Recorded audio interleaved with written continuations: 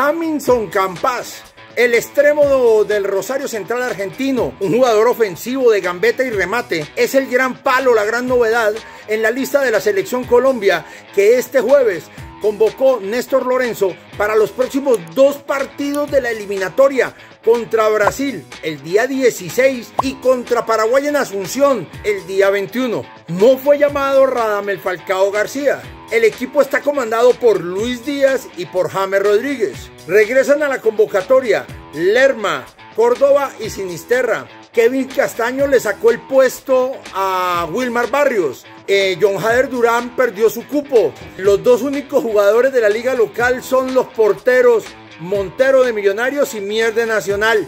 Ningún otro. Camilo Vargas vuelve a ser titular.